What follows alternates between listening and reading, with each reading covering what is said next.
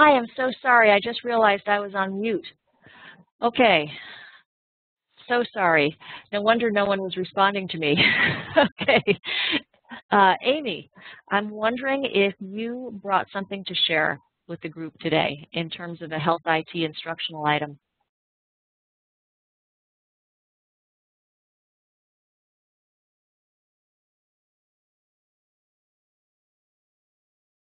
Okay, well.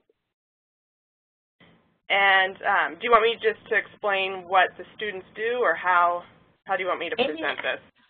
Amy, I'm afraid we, um, we missed the beginning because oh. um, we had all the lines muted. Um, okay. And I, I can either, I can hand the controls over to you and you can share a file or share your desktop. Actually, I just printed it off, so I can just, it's just an instruct, I can, let me pull it up. Yeah, let me, let me do that.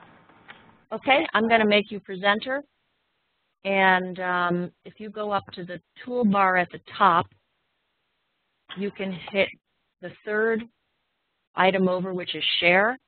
And you can either share a file or share your desktop. I'll do the desktop. I have a uh, split monitor, so let's see if I think it's going to show the right monitor. Can you see my canvas, or did I hit the wrong monitor? Well, right now we see Java is not working. so let me go back and see if I can I don't see the share any longer. Uh, you're still, we can still view your desktop. So you just the need WebEx to get, or, okay. We, yeah, uh, that's what we're looking at. Now? Ah, I think we're getting closer. HIM 167? So what I did is I took a, um, I infused some health IT components into my health information management program and what I did was, because we, we learn about, and I talk about the concept of what data mining is and then data analytics, but there was never an assignment to you know, have them actually do it. So mm -hmm. our mm-hmm. students access to the AHIMA virtual lab, and part of that, one of the components of that is they have access to Tableau, and that's a data analytic tool. Mm -hmm. So you'll see this assignment that I have, and I believe this is the one um, that's also open source for all of you. Although, unless you had access to Tableau, I'm not sure, you know, I'm sure you could use the same um, website and put it in some other tool or some other program and make it work. But I went on to this website, and um, I'll open it right now. And this is a, an open source website. and it's through the Agency for Healthcare Research and Quality. And based on the directions of the assignment, um, they have to go through and, and, search Medicare and Medicaid for specific principal diagnoses.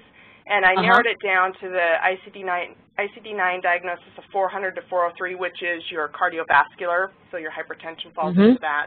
If it was all, um, first of all, I tried to do the whole 400 category with all cardiovascular, but it just, it was um, way too large of a file to have the students handle it.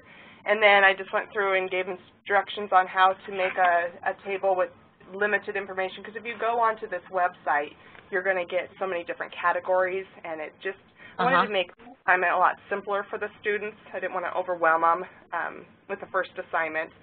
And once they save a, an Excel spreadsheet with the data, they could then download that into Tableau, and they can actually do data, data analysis. They can graph it. They can see trends over time. They can see um, uh, even, you know, based on year to year, however they want to analyze that data.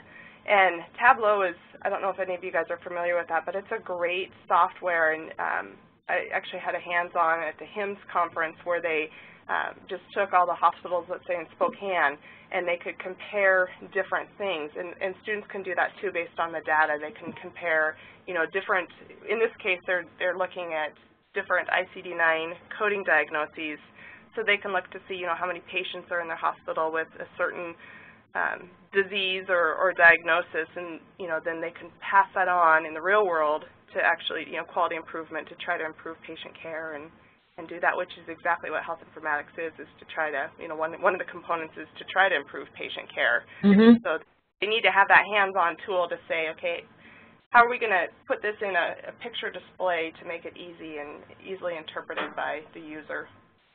Yeah, that's that a great assignment. It's a great activity, and the fact that you're including Tableau um, makes it that much more powerful. I went to a, um, a data analytics presentation last week, and there were a lot of global health people, and what came up a lot is the importance of being able to visualize the data and communicate it in terms of getting support for various projects. Uh, and I, I've heard that Tableau is free to students. I don't it know whether is, that's just a...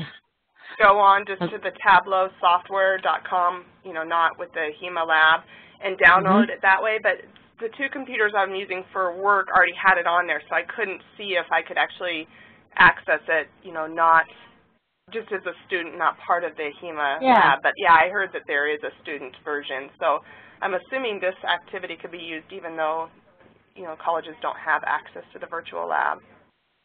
Yeah, I think this this could be adapted to another uh, another system Mhm. easily. It's a great ex exercise. Anybody have questions for Amy on this exercise? And actually, I was happy to hear about um, that you pulled the data from the AR, AHRQ website because we are wrestling with um, getting good data sets for our, our healthcare data analytics program students to play with. So I think that'll be our next stop. Yeah, it was a user-friendly system. I didn't have a hard time at all, and the students have already done this assignment this year, and they didn't have, other than not reading directions, you know, step by step, they didn't, many didn't have problems with this assignment, which is always a good feeling. Mm-hmm. Good to know. Well, Amy, thanks so much. Welcome. And, any, and then will you questions? take, do I need to do something to give you control? I can take it back. Okay.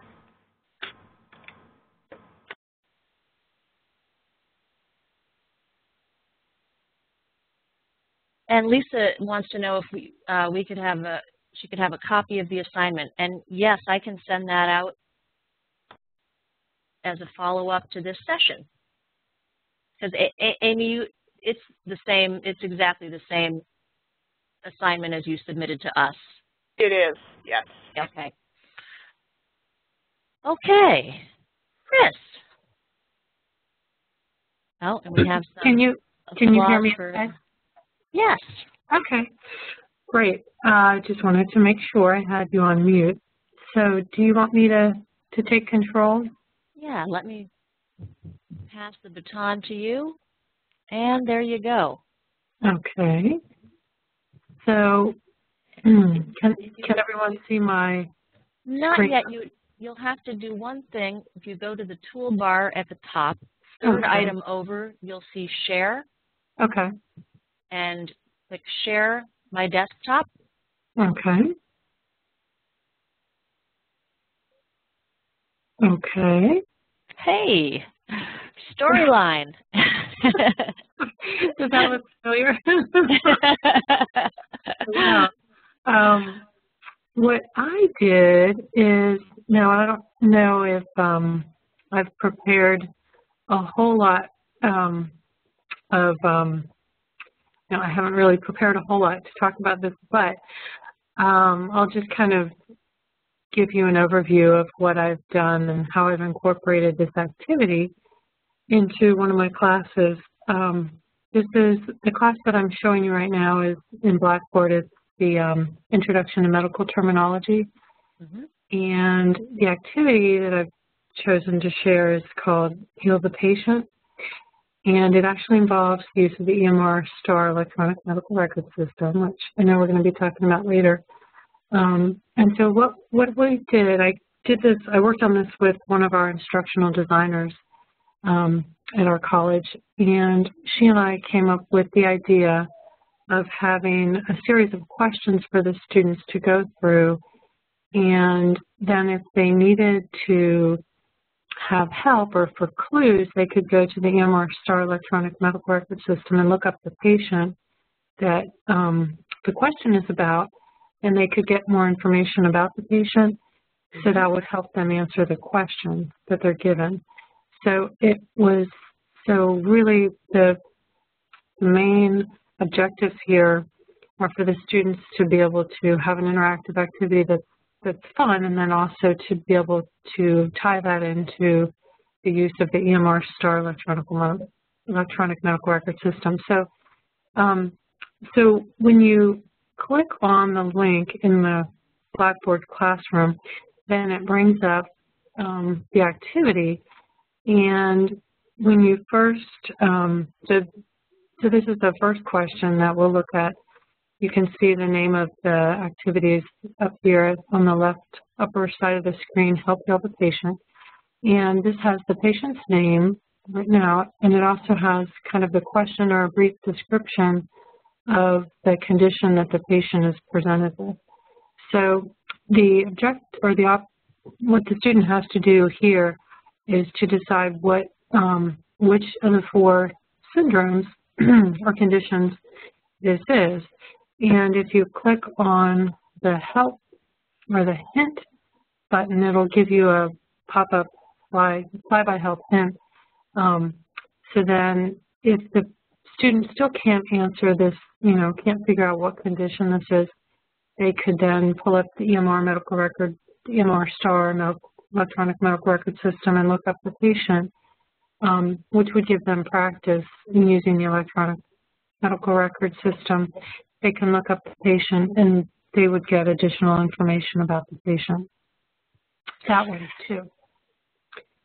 And so there are, I think there are 10 questions and the student would just go through each one and then you know pull up the hint um, help if they needed to.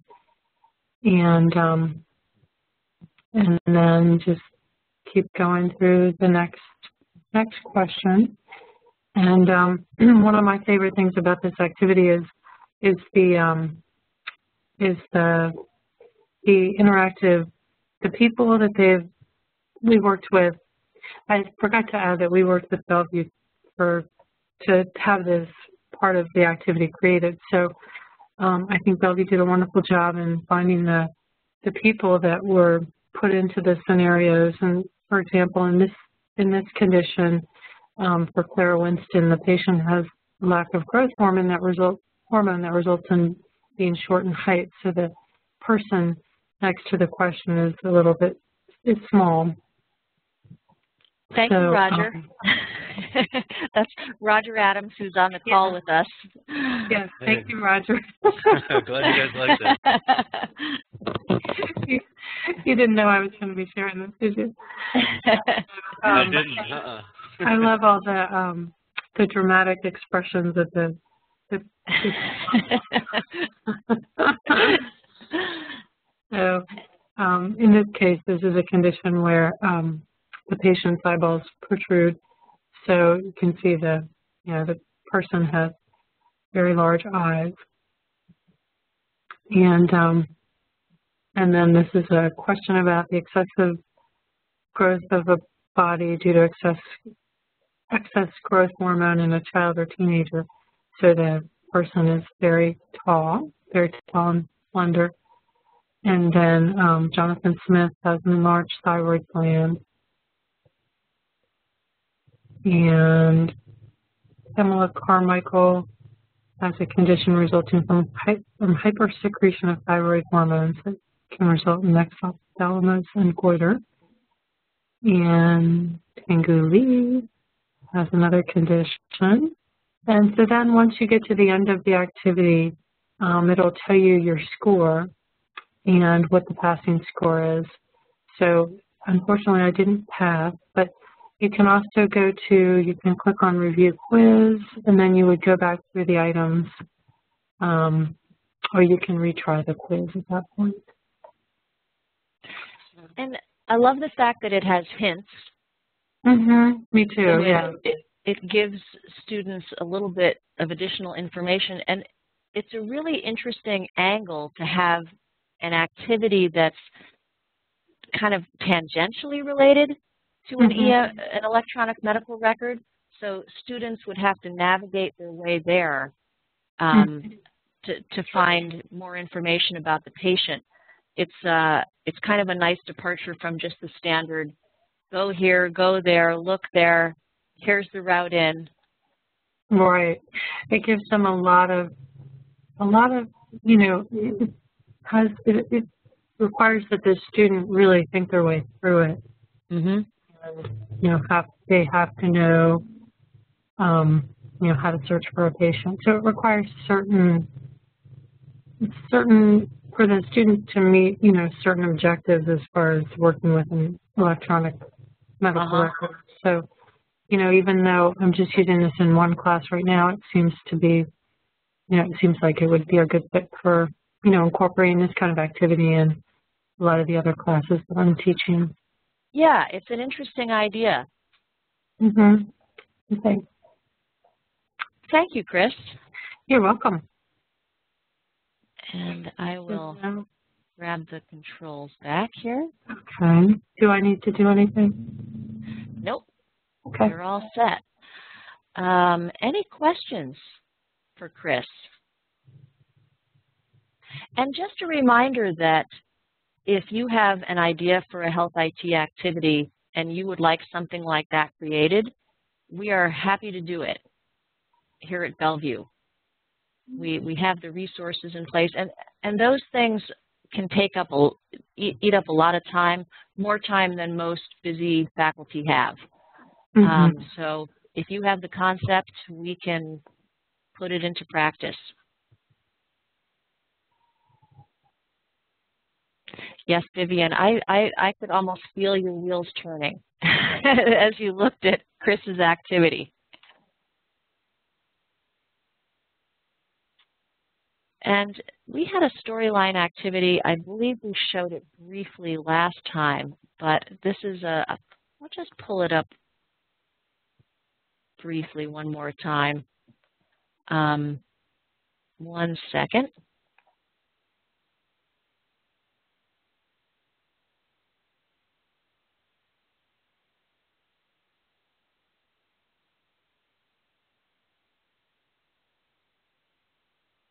I'm just going to share my desktop here.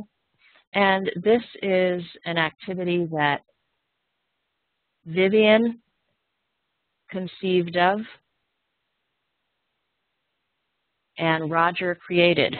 okay, so it's you choose a vehicle. I'm going to choose the stagecoach. And then it asks you a bunch of different questions. And depending on your answer, you're sent in a different direction.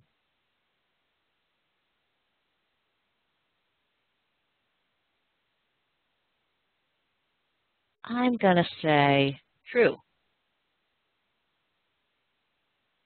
Nope, wrong. So now it's going to send me down a detour. okay, so, you know, the, these are basically, they're kind of like multiple choice on steroids, but the, the unique part is you're, you're able to do branching and send students down a different direction depending on which way they answer. And it's a lot more fun to do it in game format. Any comments or questions on anything um, that people have presented? And Lisa, I know that you're brand new to health IT, um, but many years of experience as an IT professional. So I don't know, did, did you have something that you would like to share today? Yes, I do. do. Can you hear me? Fantastic. Yes. And Okay, shall I shall I pass the baton over to you? Sure, that sounds great.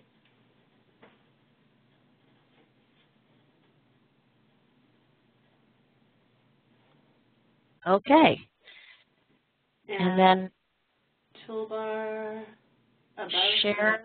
area.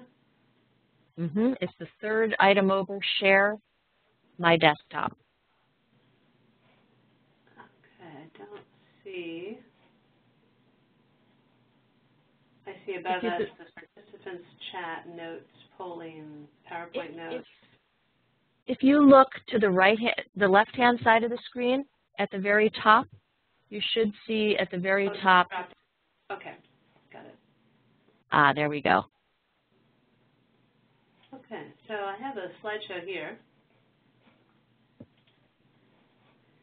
And um, the first, and this is really just some draft notes because I, I don't have it fleshed out as well as uh, some of the other activities that were shown. But um, the first minor idea would be to discuss data and structured versus unstructured data in healthcare. Uh-huh. Um, so, you know, structured data being uh, numbers, dates, et cetera, whereas unstructured data would be audio, video, images. Um, there's some specific examples here too, for example, um, ultrasound images, and what, how that would look if you were trying to store that data. So this is simple, you know, that's in draft form, just simple discussion. Uh, the one that I wanted help with is this, though. I haven't heard back from the people I tried to interview, but this is activity two, redesign your data model based on a business rule.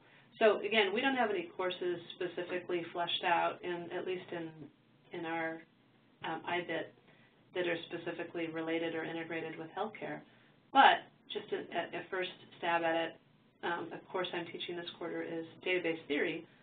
So the idea is uh, we talk about relationships between data tables. And so Mhm. here's a non-healthcare example, but what I'd like is if you have some great healthcare examples that I could use.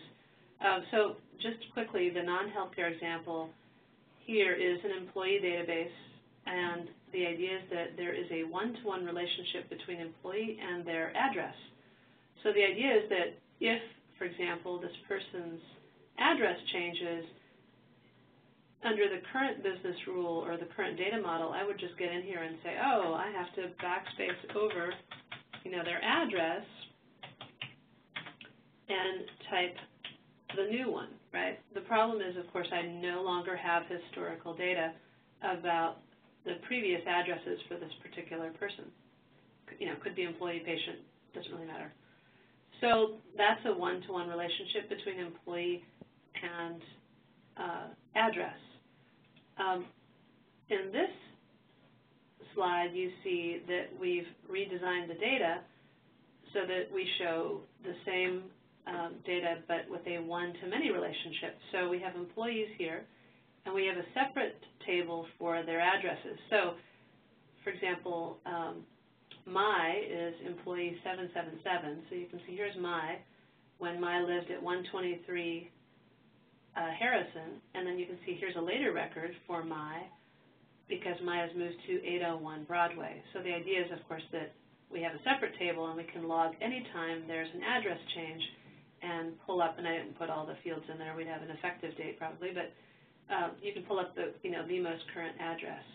So the point is that if your, um, your business rule is that you do want to track address changes over time for a particular entity, whether it be an employee or patient, then your data model would have to have a separate table for each uh, address change.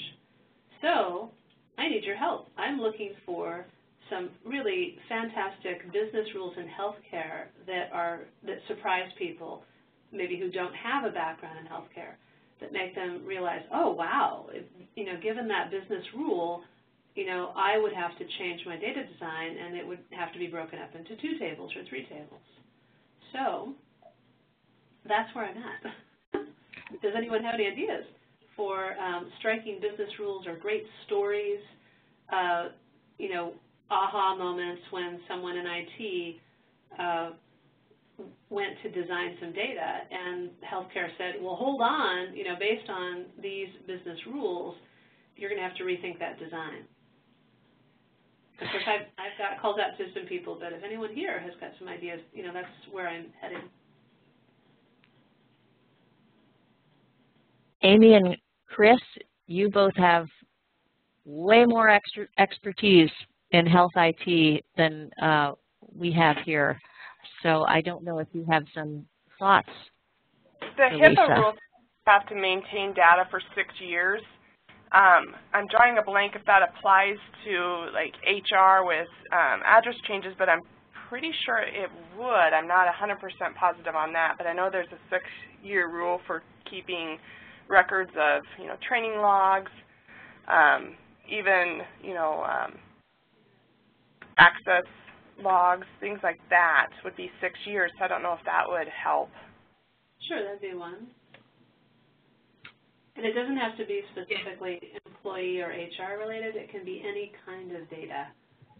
Where, you know, for example, uh, what I found interesting, I won't go into the whole story, but there was an interesting story with the Department of Licensing where somebody went down there and had um, and claimed to be um, an owner of a car, which is funny because the, the, the real owner was a woman and the person who pretended to be an owner was a man. and they had pretty straightforward. anyway, this person was able to change the the address, and um, and the actual owner, when this was discovered, was furious. Department of Licensing changed the ad, said, "Well, do you want us to change the licensing to your address?" And she said, "Of course." But then once she did, there was no historical record, at least in their system, of the fact that at one time the address was of this other person. Now, you know, huh. there's a lot more to it too, but the point was they didn't track historical information for address changes, and that actually was important for a legal case. And so, you know, just really neat stories like that. Um, yeah, that's that's fascinating. how how data is tracked and oops, you know, business rules maybe that didn't work out so well in healthcare where people bumped into the limitations of the system and, you know, hmm. maybe it went to court and, you know what I mean, that just, it, it, the point is really in that class in the beginning is just to emphasize how critical business rules are. People get hung up on the idea that database design is some sort of mathematical process and that if we can just mm -hmm. find out the right answer, then we'll be okay. But there, there is no right answer. It really depends on the business rules. And I know, at least I read, that in healthcare, it's tricky because they're changing all the time. And, you know, that's the trick with the database design. So if anyone has just, you know, great stories that make people pause and really listen, that's what I'm looking for.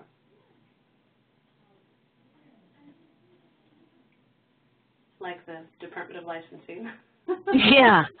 Which, if well, I go on, the car was, you know, the the address was a completely different city. The car was towed. None of the records went to the actual owner. They went to the person who changed the address, who of course didn't lift a finger. And so, you know, it was quite a an interesting. Yeah. Sounds like it. And and Chris or Amy, if if anything occurs to you later on, um, if you could send your thoughts my way, and I'll be sure they get to Lisa. Okay, sure. Okay. I'll be thinking. Thanks, Lisa. Sure. That was interesting. So I thought it might be useful to spend a little bit of time talking about how to use webinars as a training tool for health IT topics. And typically with a training webinar, I'll often start with just something fun at the beginning and ask people to share one interesting fact about themselves or one interesting experience they've had. So if you could chat in the chat box, one interesting fact about yourself or one interesting experience you've had. And be sure that your chat box is set to everyone.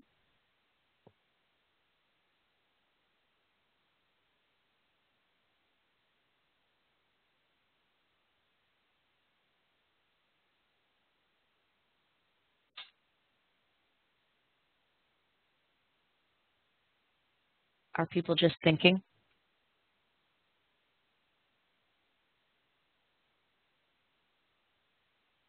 So can everyone see the chat box? Okay, Vivian. I work from home and I get to sit here with a cat on the desk beside me, okay? and Vivian, you have many other interesting things. Vivian is also a novelist. Amy, You ran four half marathons in two years. That is impressive.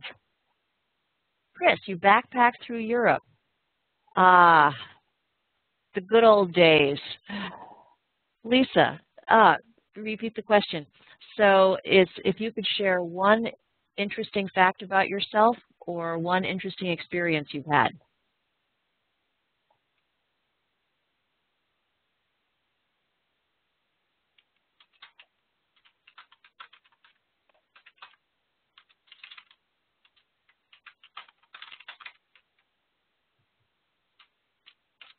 And Sandlin, how about you?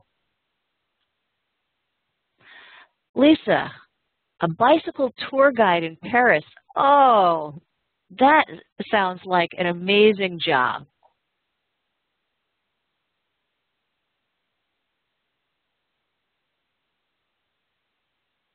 Okay.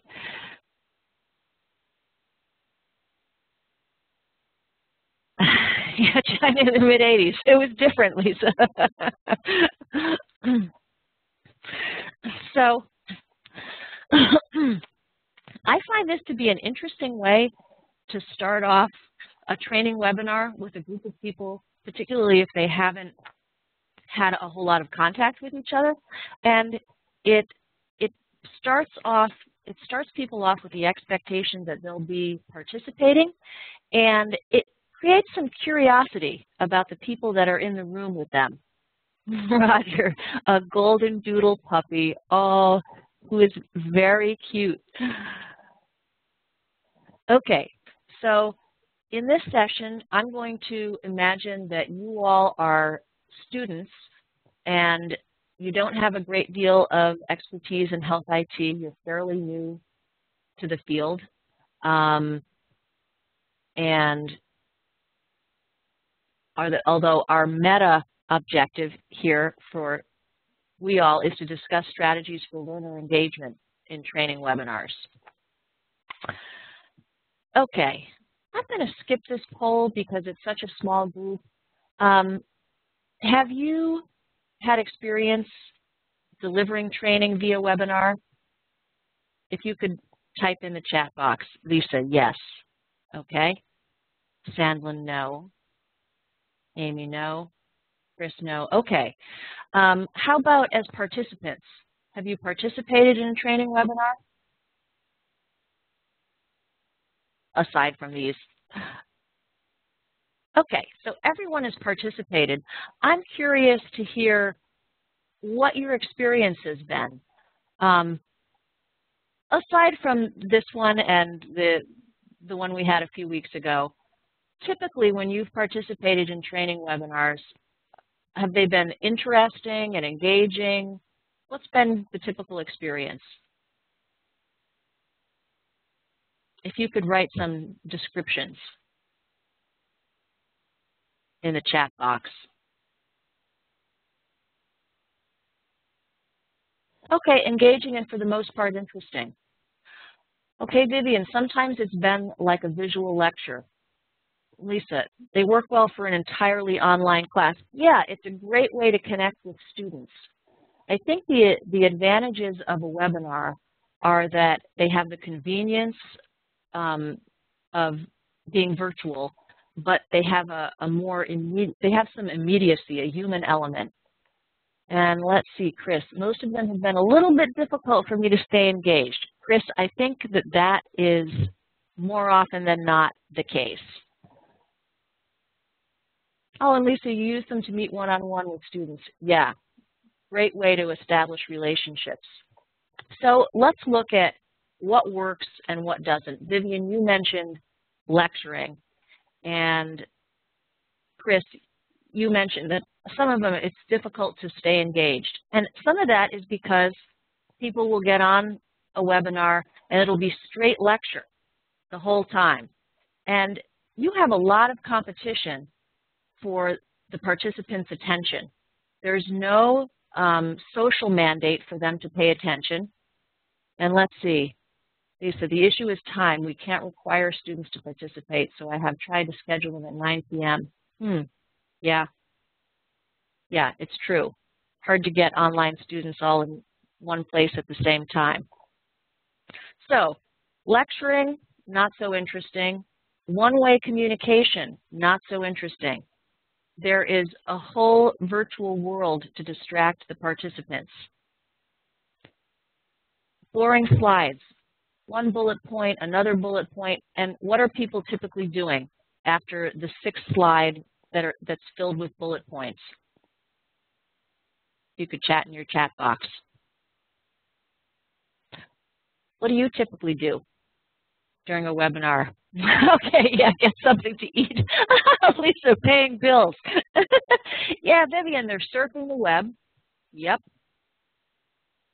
Or if it's during work hours, they're checking their emails. Stanley, no one can see you sleeping in a webinar. Exactly. There's no accountability. In a in a face-to-face -face class, people feel obligated to, to at least pretend to be paying attention. Chris, tuning out. Yeah, unless you're required to participate. Exactly, Chris. Lisa, tempted to catch up on grading. Yeah, all kinds of things. So what are some ways that we can turn that around and really hold on to the participants' attention? So one way is to use images and graphics. Our brains like that. Our brains go, ah, when we see images. What also grabs the brain's attention is novelty. So anything, anything that, that changes. So varying your intonation patterns can be helpful. And more importantly, two-way communication. And Lisa, yes, ask a gazillion questions. Keep the participants busy.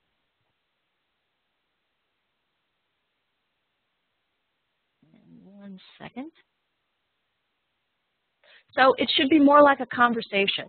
And hopefully that's how it feels today in this webinar as a, as a two-way conversation. It gets a little bit um, unmanageable to have everyone with their mics unmuted and you end up with a lot of background noise. And because you don't have the nonverbal cues when someone's about to speak, people kind of trample over each other. So something that I find works well in webinars is to use the chat pane heavily, but to periodically ask people to unmute and say more about a comment.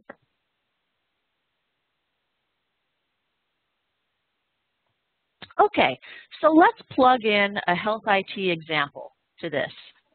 And Amy and Chris, I apologize up front if I'm at all off the mark um, on this because you have way more health IT expertise than I do.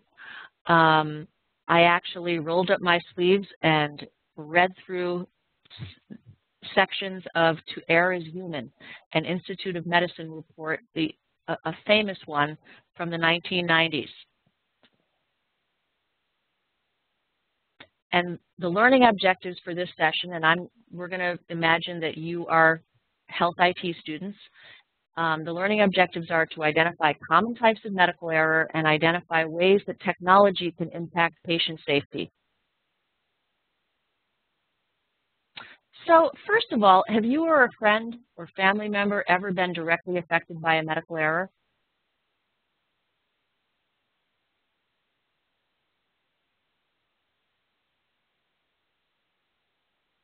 Anybody? Chris, not yet. okay and hopefully you never will be.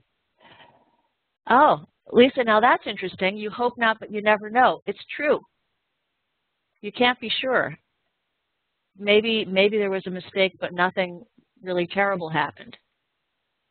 Okay? So let's look at a poll.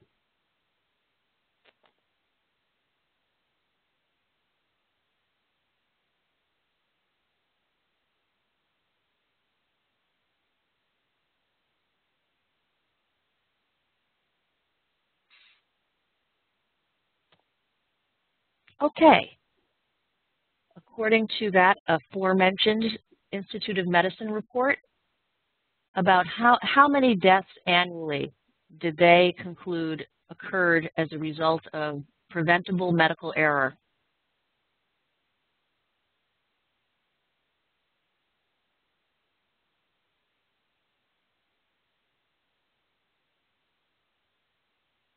Okay.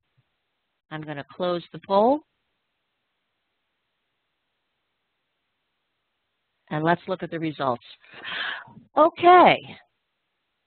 A couple people thought 117,000. Actually, the correct answer is B, 98,000 in the Institute of Medicine report. Another report has come out um, more recently asserting that actually the number is much higher. Um, there's been a fair amount of controversy about this report. Some people say it's accurate. The American Hospital Association said that they didn't think it was accurate. What's one problem with getting an accurate count of medical errors? And just go ahead and chat in your chat box. Why is it hard to get an accurate read of medical errors? And by the way, most of the medical errors that are tracked occur in hospital settings. Oh, Amy. Oh, and Sandlin too. Yes, Sandlin, not all errors lead to adverse events. That's one part. And Amy, hospitals have to admit their errors and providers have to admit their errors. So that is a significant problem. And Chris, yes, some are undetected or unreported. Oh, Vivian, Washington Post had an article about a teenager who was losing weight. It took many physicians and multiple efforts to find the right diagnosis. Interesting. Huh. Yeah, so it's actually kind of, it's tough to get an accurate read, and one of the things highlighted in that Institute of Medicine report was that systems needed to be implemented in hospitals so that there isn't blame, so that there could be some anonymous reporting of errors and that sort of thing, so that underlying systems could be addressed. So yes, hospitals may be hazardous to your health. And there are checklists out there on the web of things they recommend you do if you are hospitalized to make sure that um, errors aren't made.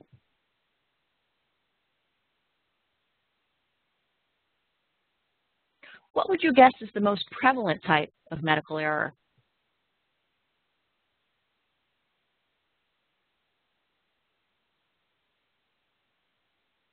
What kind of error? would you guess? Lisa a knife left in body. That's a classic one. Um, let's see.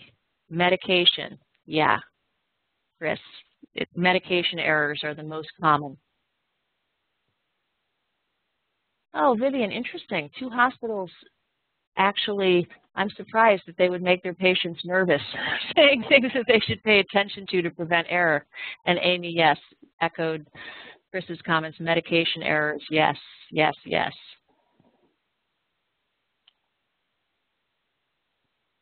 Okay, let's have another poll question.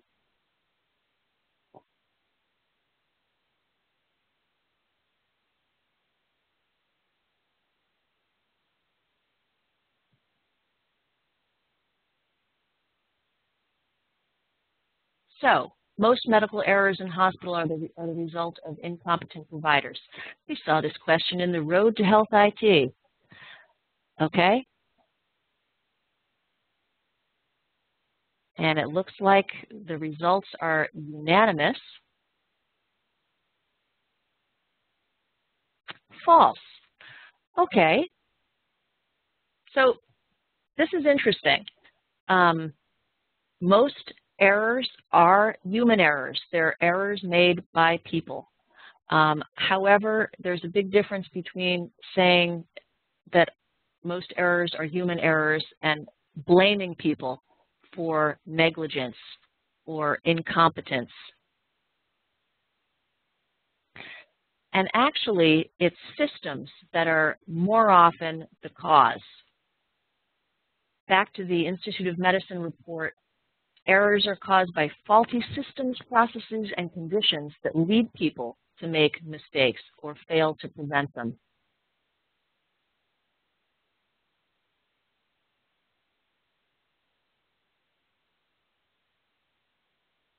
So, I mean, there, there can be very many complex factors that set up conditions that cause people to make errors. So for the next part of this activity, you're actually going to need to print out a handout. I sent it out ahead of time, but Amy, I kept getting bounce backs from um, Spokane emails this morning. That's strange. Um, yeah, I didn't receive it. Yeah, and I, I sent I tried about three times, but what you can do is if you go up to share, no, I'm sorry, file up at the toolbar Okay. and do and do save as PDF.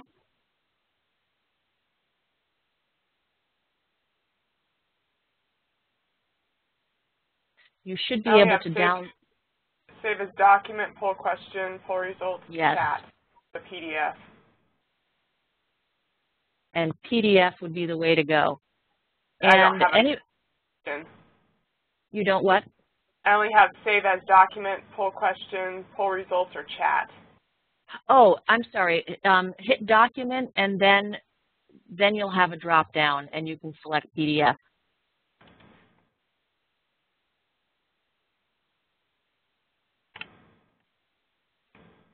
Um, oh, there we go. Okay. Anybody else who doesn't have a copy?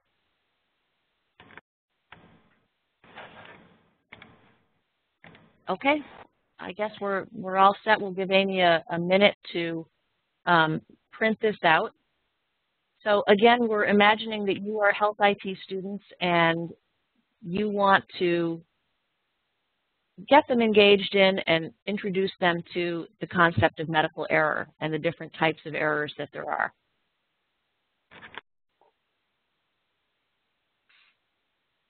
Okay, so Lisa, this is this is similar to the one that you mentioned, things left in the body. So if you look at the types of errors on that handout, what category does this fall in?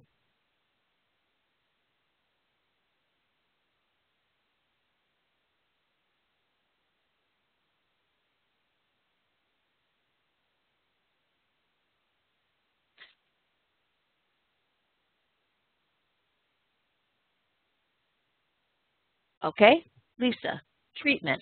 And which letter? Yep, and Amy also votes for treatment. A, yeah, error in the performance of an operation, procedure, or test. Um, how many of you have heard of Atul Gawande? He wrote the Checklist Manifesto. Very interesting guy. You might want to check him out on YouTube sometime. He has some, some interesting videos. Um, he touts the value of checklists and particularly in medicine. And checklists have been used in other industries where safety has been a big concern, like um, aviation, and used to great effect. So having adequate procedures and following them, following checklists. Vivian, yeah, he uses checklists as a surgeon. Mm -hmm. And as I say, to great effect. Okay, how about this one? Carol Eng checks into the ER, hangs around for a few hours. At noon, he has a heart attack. So which type of error is this?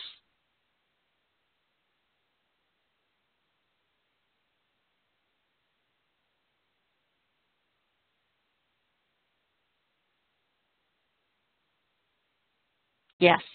Yes, diagnostic A. Okay, how about this one?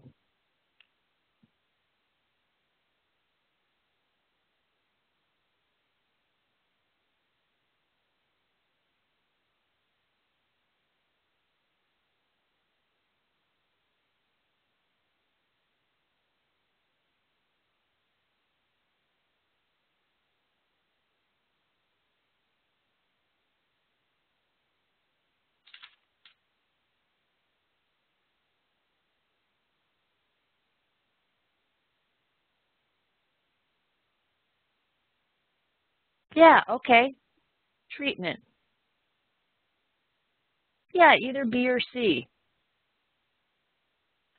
And let's add another part to this question. What kind of technology could have prevented this error?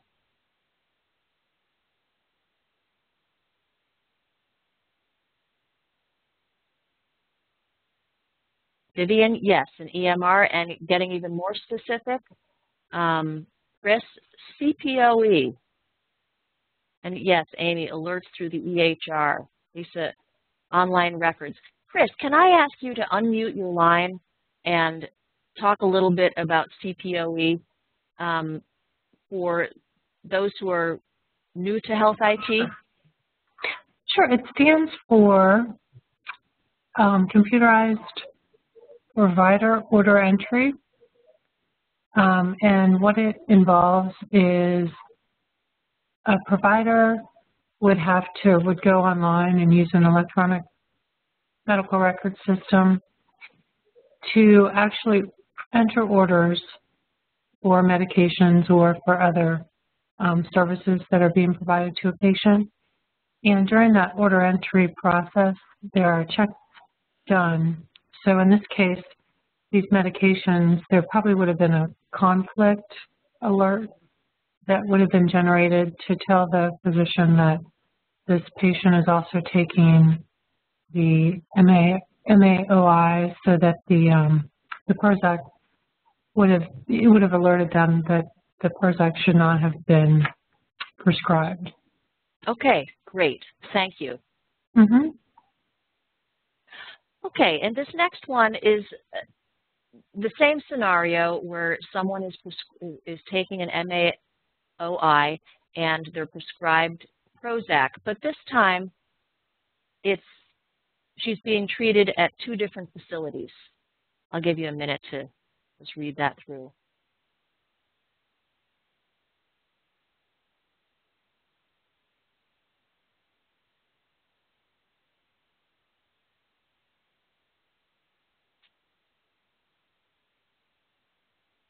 Okay, what on the technology front could have prevented this?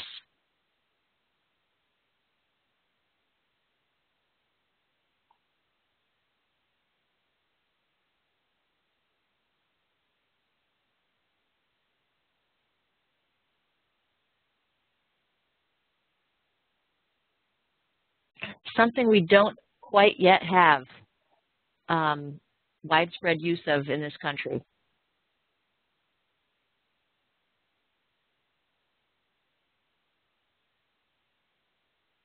I think I'm probably not asking the question right because I know several of you um, know this. Um, what I'm looking for is, uh, what I had in mind was interoperability and health information exchange. We have it to some extent in this country, but we're still, I, I was speaking with someone, actually the, um, the person who heads up our EMR STAR effort, he is involved nationally in um, health information exchange. And I asked him how far away he thought we were from really having that in our country. And he, he said he thought 10 plus years. So when we have, when our systems are truly connected and different providers have access to a patient's records, that, that would prevent a situation like this.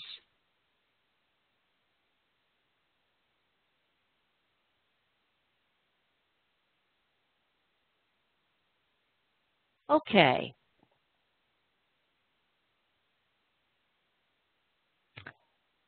So,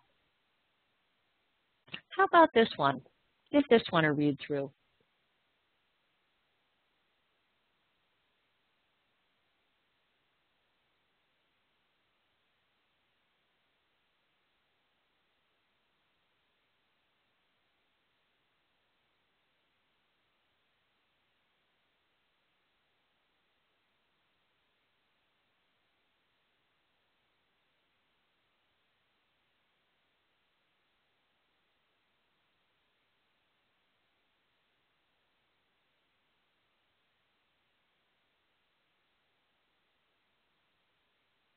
So this one has a lot of problems.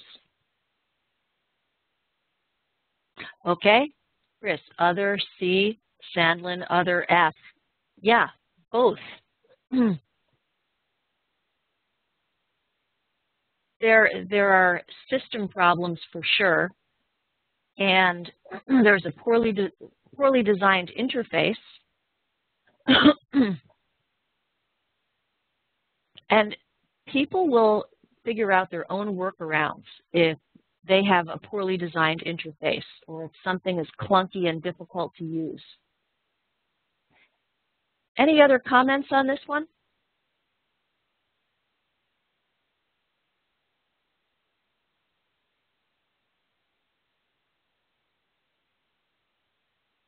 So what, what could have prevented this? Let's start with the process from entering medication orders. What probably did not happen when they were gearing up to implement their EHR system? Vivian, when you're designing a system, it's really important to get user input. Yeah, especially for clinical processes. Chris, yeah. Okay, the physicians should be entering the orders. Yes.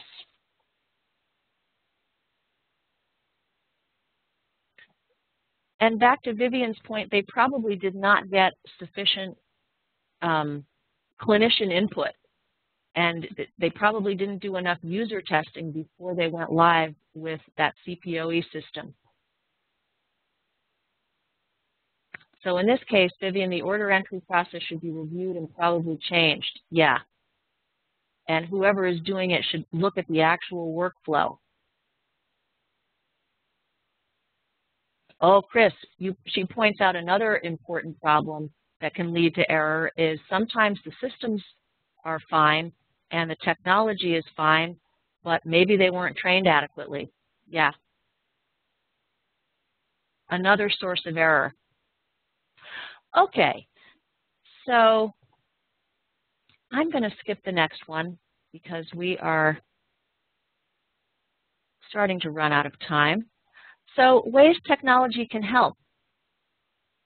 Chris explained to us about computer, computerized provider order entry. Um, one example that we didn't get to is clinical decision support. So we saw the example of the physician that prescribed an, a medication that was contraindicated for his patient. Um, having support, having evidence at his fingertips at the point of care would have prevented this. Okay, devices that automate medication dosing, those can reduce human error quite a bit. Um, what else? Uh, any downside to devices? What can go wrong with devices? Any thoughts on that?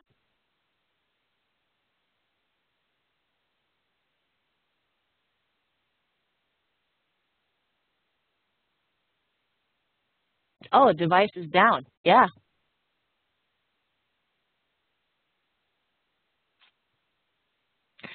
And the device is down, but no alerts that there's something wrong or, Chris, that they can malfunction.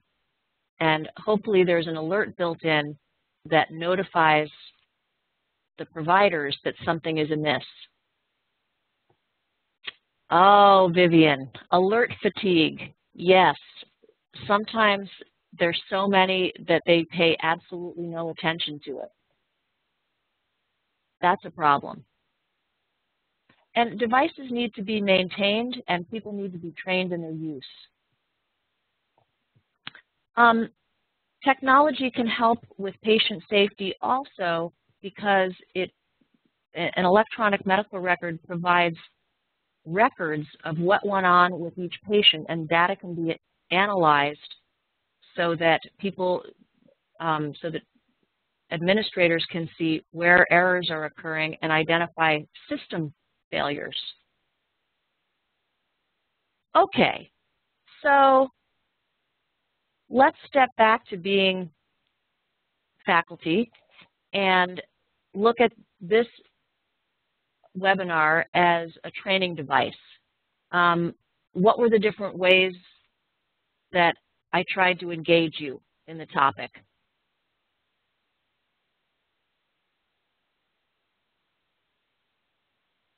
Polling, mm-hmm. Asked a lot of questions, yes. Pictures of nice rocks. they were gems, Lisa. The gems that you all were providing. Okay, polls and a lot of questions. Yeah, I kept you busy, and let's go back. Let's go back to the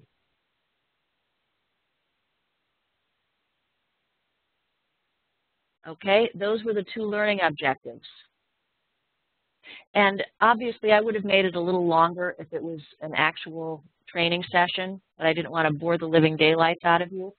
But it's a more interesting way to get at these two learning objectives versus just presenting a bunch of PowerPoint slides and telling students the different types of errors. So they actually had to apply it. stories. Yeah, and how about how about let's look at adult learning principles um, in the context of this. How did you feel as participants when your comments are acknowledged?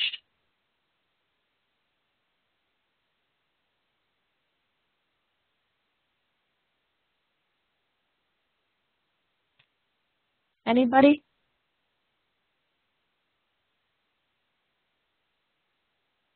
So when I thank you for your comment or you make an interesting point and I, I mention that to the group, how does that make you feel?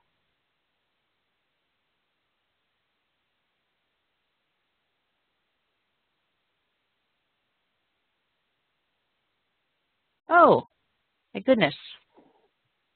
It wasn't advancing. Okay, yeah, great, and it makes you feel makes you feel acknowledged, encouraged. Yeah.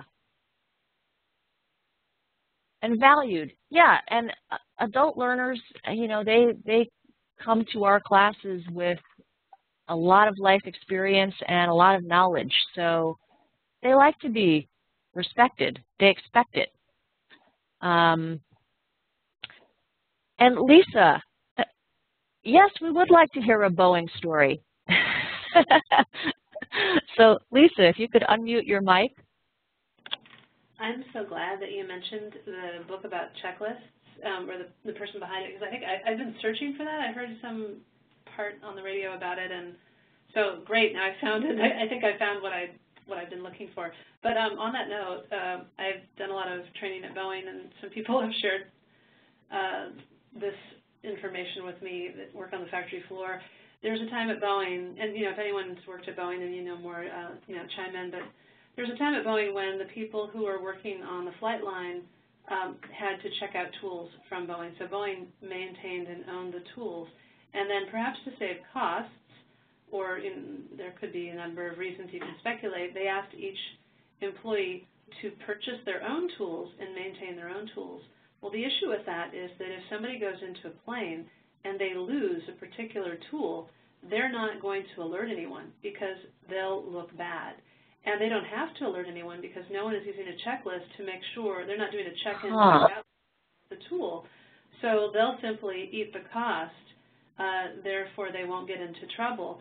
But um, there have been a couple of cases where, you know, the worry was, given the plane accident, that there was a tool rattling around. Um, apparently, the Air Force, uh, anywhere where they're maintaining planes, they still have the old system where you don't own the tools, the tools are checked in and out. So they know if you come back and you have 99 out of 100 tools, they know, okay, there's a tool missing and we need to go find that. So um, not interesting flying, but you know, boy, I wish one would return to the old system. You know, that's an interesting story and so um, so relevant to surgery. no, I know. I don't know what the what the uh, incentives are in the hospitals. I hope they don't have to maintain their own tools. Uh, no, I don't think it's bring your own scalpel, fortunately. Okay. So, thank you all for being so engaged and participating so actively. Makes it really fun. Um, don't think we have to go over the technical aspects. Something that we always do, though, is always do a dry run with webinars because there's always something, even even when you've done used the tools a lot, um, there's something that doesn't show up right or something. So we always have someone log in as a participant and go through this. So what do you see on your screen? That kind of thing. Um, best to have a buddy.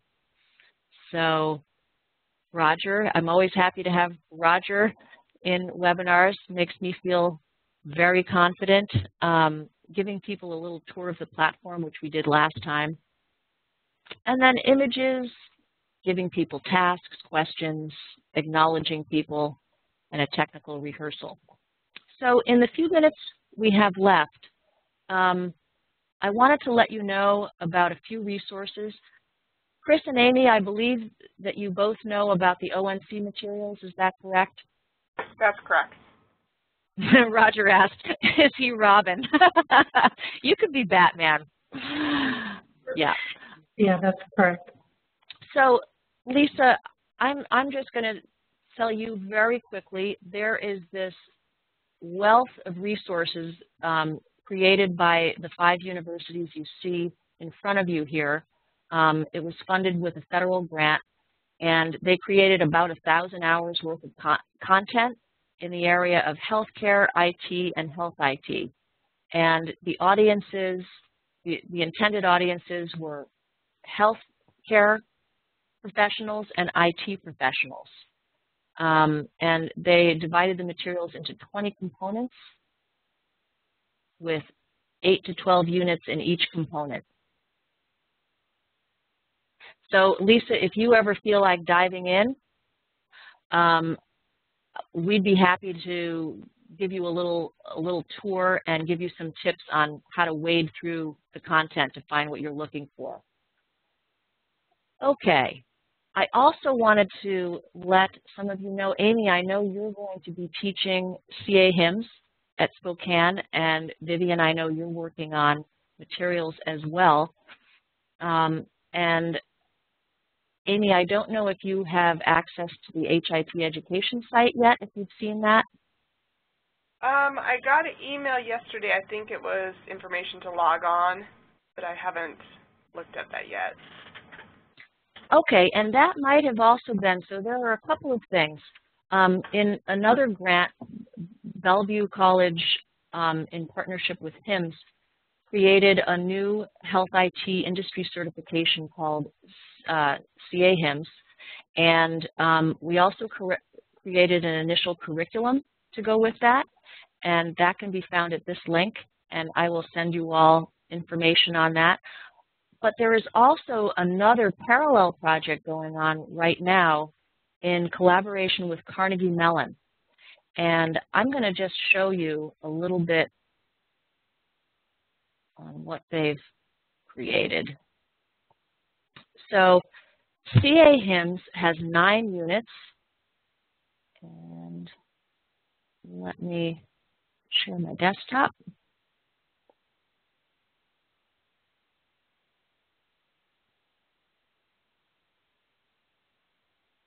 And CA HIMSS has about anywhere from 100 to 165 hours, depending on how deep a dive people want to do into the topic. And these are the key areas. Healthcare environment, technology environment, health information management systems analysis and design, selection and acquisition, implementation and management, testing and evaluation, privacy and security, leadership and planning, and professionalism and communication skills. And what, what we're doing is we and um, another DOL grant recipient in Missouri are working with Carnegie Mellon. They have a team of learning engineers, um, proof copy editors, um, and technical people, in addition to a group called CAST, who works with us on universal design, and they have um, an assessment expert. And we're taking the CA HIMSS content and creating new instructional materials. And the materials are fantastic. They're incredibly labor intensive to create, but let me show you what those look like. So here is an example of one module in the very first unit of CA HIMSS. And everything is organized by page in the Carnegie Mellon system. Um, and let me show you a page. So we started with ONC content. Oh, it logged me out.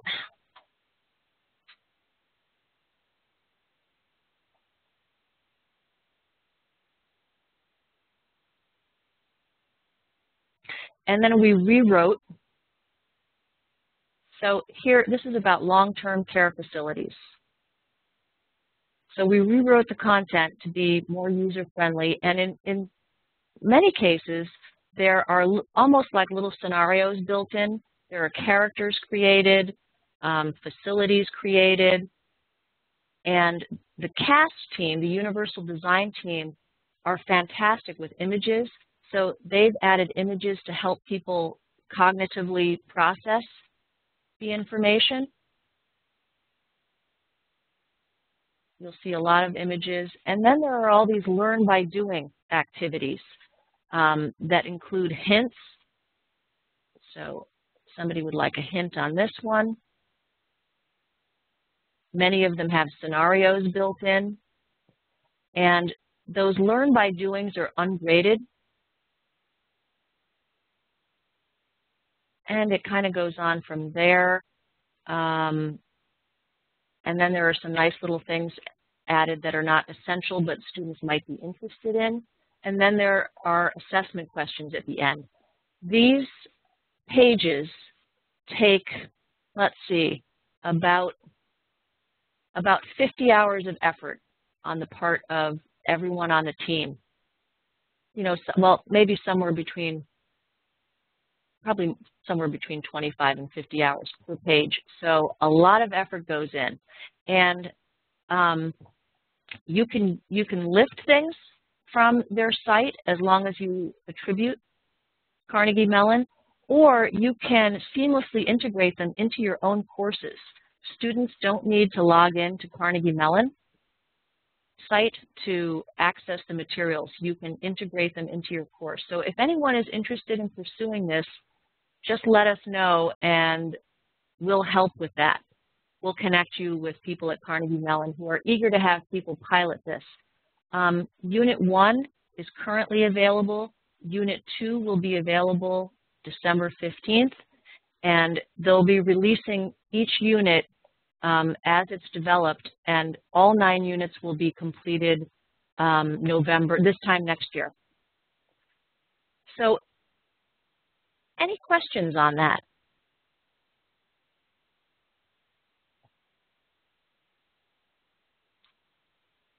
I wanted to show you one, actually one other item before we leave.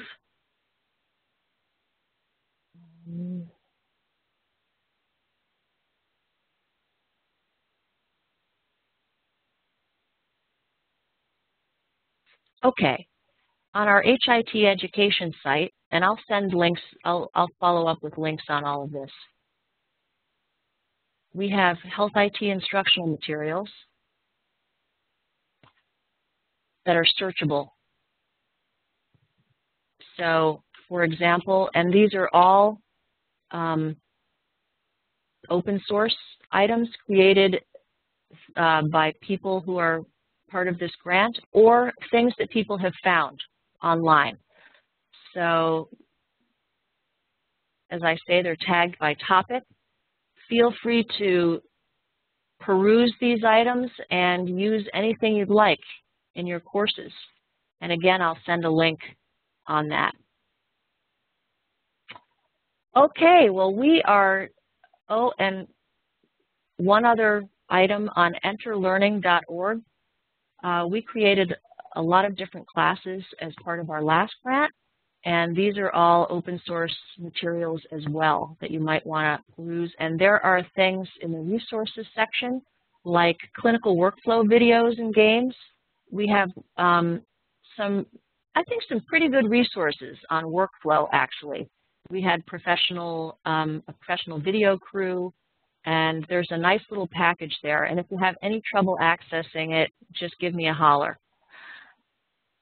All right. Um, any final questions or comments?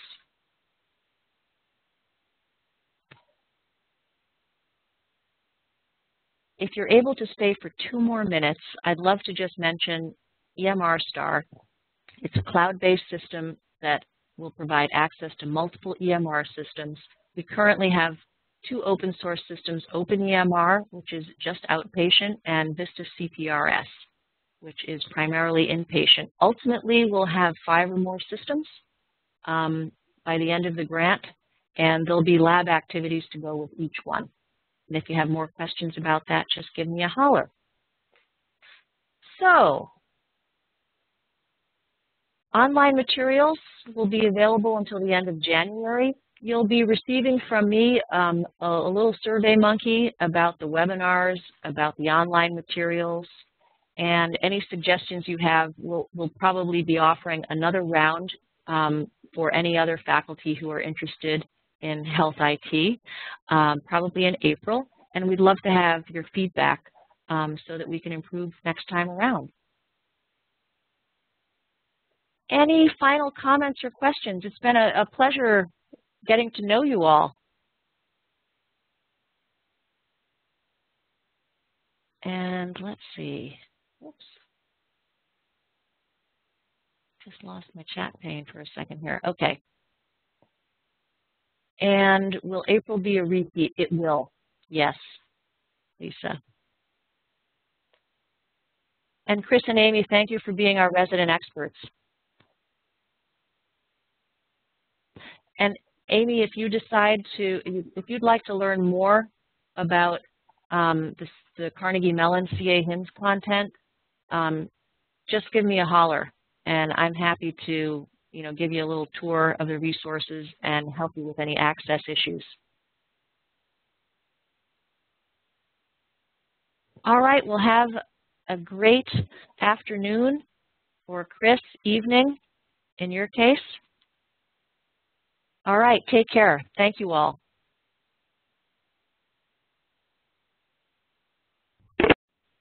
Thanks, Margaret.